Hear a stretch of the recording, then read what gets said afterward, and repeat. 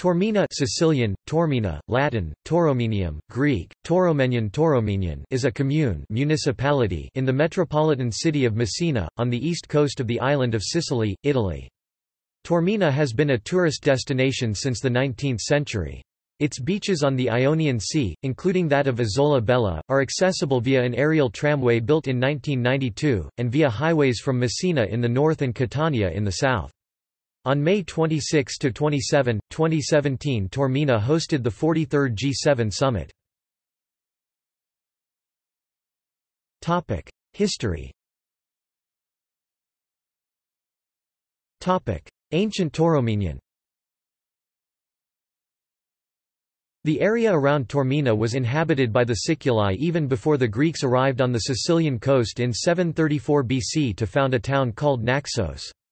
The theory that Tauromenion was founded by colonists from Naxos is confirmed by Strabo and other ancient writers. The new settlement seems to have risen rapidly to prosperity, and was apparently already a considerable town at the time of Timoleon's expedition in 345 BC. It was the first place in Sicily where that leader landed, having eluded the vigilance of the Carthaginians, who were guarding the Straits of Messina, and crossed direct from Rhegium modern Reggio di Calabria to Tauromenium. The city was at that time still under the government of Andromachus, whose mild and equitable administration is said to have presented a strong contrast with that of the despots and tyrants of the other Sicilian cities. He welcomed Timoleon with open arms, and afforded him a secure resting place until he was enabled to carry out his plans in other parts of Sicily. Andromachus was not deprived of his position of power when all the other tyrants were expelled by Timoleon, but was permitted to retain it undisturbed till his death. Little is recorded about Tauromenium for some time after this. It is probable that it passed under the authority of Agathocles, who drove the historian Timaeus into exile, and some time after this it was subject to a domestic despot of the name of Tindarion, who was contemporary with Hicetas of Syracuse and Phintias of Agrigentum. Tindarion was one of those who concurred in inviting Pyrrhus into Sicily 278 BC, and when that monarch landed with his army at Tauromenium, joined him with all his forces, and supported him in his march upon Syracuse. A few years later we find that Tauromenium had fallen into the power of Hieron II of Syracuse, and was employed by him as a stronghold in the war against the Mamertines, i.d p. 497. It was also one of the cities which was left under his dominion by the treaty concluded with him by the Romans in 263 BC. There is no doubt that Tauromenium continued to form a part of the kingdom of Syracuse until the death of Hieron, and that it only passed under the government of Rome when the whole island of Sicily was reduced to a Roman province, but we have scarcely any account of the part it took during the Second Punic War, though it would appear, from a hint in Appian, that it submitted to Marcellus on favourable terms, and it is probable that it was on that occasion occasion it obtained the peculiarly favoured position it enjoyed under the Roman dominion. For we learn from Cicero that Tauromenium was one of the three cities in Sicily which enjoyed the privileges of a civitas foederata or allied city, thus retaining a nominal independence, and was not even subject, like Messina, to the obligation of furnishing ships of war when called upon. The city, however, suffered severe calamities during the Servile War in Sicily 134 BC, having fallen into the hands of the insurgent slaves, who, on account of the great strength of its position, made it one of their chief posts, and were able for a long time to defy the arms of the consul Publius Rupilius. They held out until they were reduced to the most fearful extremities by famine, when the citadel was at length betrayed into the hands of the consul by one of their leaders named Serapion, and the whole of the survivors put to the sword. Tauromenium again played a conspicuous part during the wars of Sextus Pompeius in Sicily, and, from its strength as a fortress, was one of the principal points of the position which he took up in 36 BC, for defence against Octavian.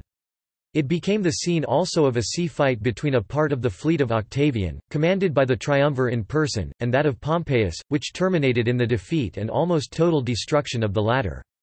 In the settlement of Sicily after the defeat of Pompeius, Tauromenium was one of the places selected by Augustus to receive a Roman colony, probably as a measure of precaution, on account of the strength of its situation, as we are told that he expelled the former inhabitants to make room for his new colonists. Strabo speaks of it as one of the cities on the east coast of Sicily that was still subsisting in his time, though inferior in population both to Messana and Catana.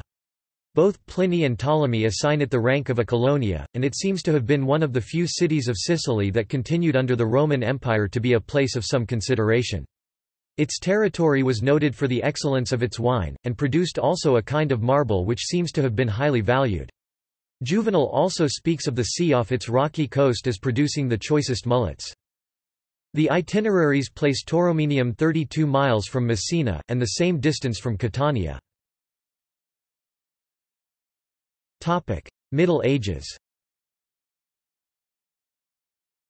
After the fall of the Western Roman Empire, Taormina continued to rank as one of the more important towns of Sicily, and because of the strength of its position was one of the last places that was retained by the Eastern Roman Byzantine emperors, but it was taken by the Fatimids in 962 after a siege of 30 weeks.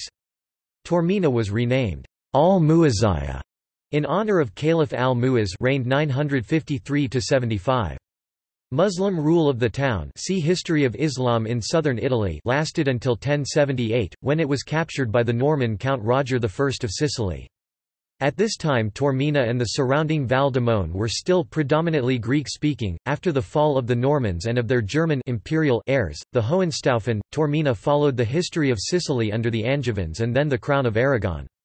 In 1410 King Martin II of Sicily was elected here by the Sicilian parliament. Later Taormina was under Spanish suzerainty, receiving the status of «city» in the 17th century. In 1675 it was besieged by the French, who had occupied Messina.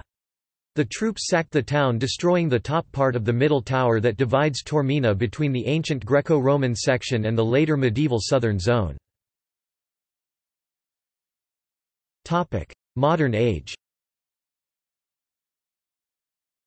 Under the Bourbons dynasty of the Kingdom of Two Sicilies, which lasted until 1860, Taormina did not have a relevant role, however, it obtained an easier access when part of the Catrabico promontory was partially cut and a seaside road connecting it to Messina and Catania was created.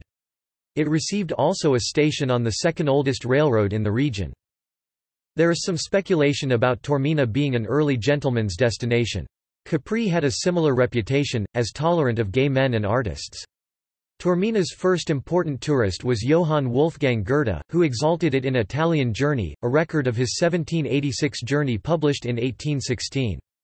Starting from the 19th century Taormina became a popular tourist resort in the whole of Europe. People who visited Taormina include Oscar Wilde, Nicholas I of Russia, Johann Wolfgang von Goethe, Friedrich Nietzsche who here wrote his Thus Spoke Zarathustra, Richard Wagner and many others. In the late 19th century the city gained further prominence as the place where Wilhelm von Gloeden worked most of his life as a photographer of predominantly male nudes. Also credited for making Taormina popular was Otto Geleng (1843–1939), a German landscape painter who settled there from the 1860s.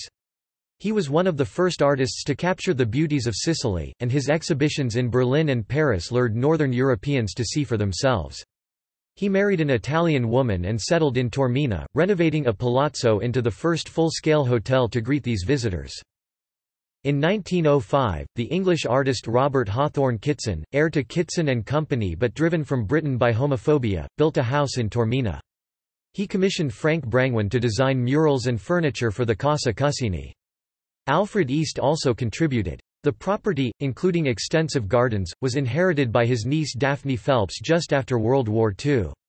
She intended to sell, but ended up staying, running the place as a pensione for half a century, with guests such as Bertrand Russell, Roald Dahl, Henry Faulkner, and Tennessee Williams. In 1999 she wrote A House in Sicily about life in Taormina in general and Casa Cuseni in particular. In 1907, the English architect C. R. Ashby, a prime mover of the arts and crafts movement, came to Taormina on commission from an old client. Colonel Shaw Hellier set him the task of designing the Villa San Giorgio. Biographer Fiona MacCarthy judges it, the most impressive of Ashby's remaining buildings. It is run as the Hotel Ashby. During the early 20th century the town became a colony of expatriate artists, writers and intellectuals. Albert Stopford grew roses in his Edwardian garden, D. H. Lawrence stayed at the Fontana Vecchia from 1920 to 1922. He wrote a number of his poems, novels, short stories and essays, and the travel book Sea and Sardinia. Thirty years later, from April 1950 through September 1951, the same villa was home to Truman Capote, who wrote of his stay in the essay, Fontana Vecchia. Jean Cocteau and Jean Marais visited the place. Charles Webster Leadbeater, the theosophical author, found out that Taormina had the right magnetic fields for Jiddu Krishnamurti to develop his talents, so the young Krishnamurti spent part of 1912 in the city. By this time Taormina had become a polite synonym for Sodom, as Harold Acton described it. Later, however, after the Second World War Acton was visiting Taormina with Evelyn Waugh and, coming upon a board advertising Ye Old English Teas he sighed and commented that Taormina was now quite as boring as Bournemouth. Icelandic writer Halldór Laxness, who won the Nobel Prize in Literature in 1955, wrote most of his first novel, Vefarinn mikli frá Kasmír, The Great Weaver from Kashmir, in Taormina which he then praised highly in his book of autobiographical essays, Skáldtími. The Time of the Poet, 1963. The 43rd G7 summit was held in the town on May 26 to 27, 2017. Topic: Main sites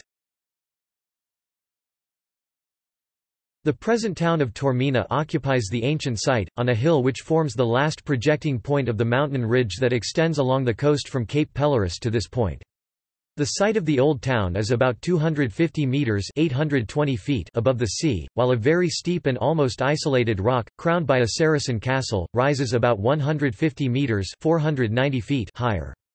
This is the likely site of the ancient arx or citadel, an inaccessible position mentioned by ancient writers.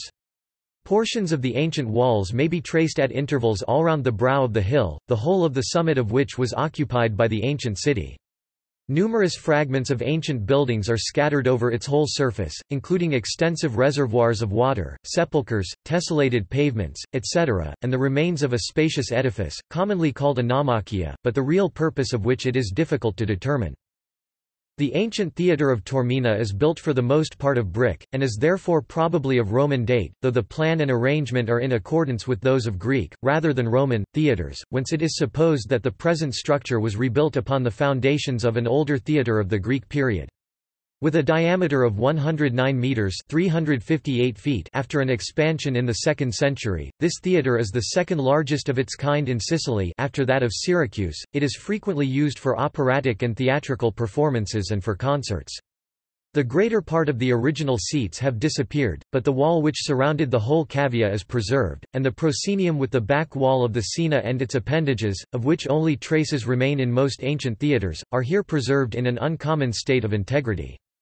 From the fragments of architectural decorations still extant we learn that it was of the Corinthian order, and richly ornamented. Some portions of a temple are also visible, converted into the Church of San Pancrazio, but the edifice is of small size. Other sites include the 10th-century Palazzo Corvaja, a 1635 Baroque fountain, the Church of San Domenico, the Anglican Church of St. George, and the municipal gardens Giardini della Villa Comunale. Culture and tourism Just south of Taormina is the Isola Bella, a nature reserve, and further south, situated beside a bay, is the popular seaside resort of Giardini Naxos. Tours of the Capo Sant'Andrea grottos are also available. The town of Taormina is perched on a cliff overlooking the Ionian Sea. Besides the ancient Greek theatre, it has many old churches, lively bars, fine restaurants and antique shops. The Santuario Madonna della Rocca is one such church. Located on the slope above the town, it commands an impressive view of the coast and Mount Etna to the south, and is accessible on foot via the staired path, Salita Castello. Taormina is approximately a 45-minute drive away from Europe's largest active volcano, Mount Etna. Cultural references Taormina inspired the naming of Taormina, a suburb of Coffs Harbour, New South Wales, Australia. A part of the movie The Big Blue 1988 was set and filmed in Taormina, where the main characters take part in the No Limits Freediving World Championships. The British songwriter Mark Knopfler evokes the town in his song, Lights of Taormina, in his 2015 album Tracker. Topic: Events Many exhibitions and events are organized during the summer in Taormina. The exceptional stage for pop and classical concerts, opera and important performances often recorded by television for example, the ceremony of the Silver Ribbon Award, the festival bar, the core is the ancient theatre. Since 1983, the most important performances are realized by Taormina Arte, the cultural institution which organizes a music, theatre and dance festivals. Within the program of Taormina Arte there is the Taormina Film Fest, the heir of the Cinema Festival of Messina and Taormina, dating from 1960, which for about 20 years has hosted the David of Donatello Awards. During the Taormina Film Fest the Silver Ribbons are awarded, a prize created by Italian film journalists. Since 2005, in October, Taormina Arte has organized the Giuseppe Sinopoli Festival, a festival dedicated to its late artistic director. Topic People Tindarian 278 BC, tyrant of Tauromenium Pancras of Taormina, sent to Sicily in 40 AD by Saint Peter as first bishop of Tauromenium Wilhelm von Gloeden 1856 in Wismar 1931 in Taormina, German photographer who worked mainly in Italy, best known for his pastoral nude studies of Sicilian boys. Resident from 1880 Pancrazio Buciuni (1879–1963), Gloeden's model, lover and heir Gaylord Hauser (1895–1984), nutritionist and author Robert Hawthorne Kitson (1873 in Leeds, 1947 in Casa Cuseni), British watercolor painter, resident from 1899 Daphne Phelps (1911–2005), Kitson's niece and heir, a writer. Resident from c. 1947. Carla Cassola born 1947, actress and composer. Francesco Buzzurro born 1969, musician Guido Caprino born 1974, actor Norma Murabito born 1987, sprint canoeist topic See also List of Catholic dioceses in Italy European archaeology topic References topic Sources This article incorporates text from a publication now in the public domain, Smith, William, ed., 1854–1857. Article name needed. Dictionary of Greek and Roman Geography. London, John Murray. Topic external links Official website Taormina Arte Official website G Catholic, former and titular bishopric Travel Taormina. Com, Taormina Tourist Guide Taormina, Tourism Sicilia Taormina Photo essay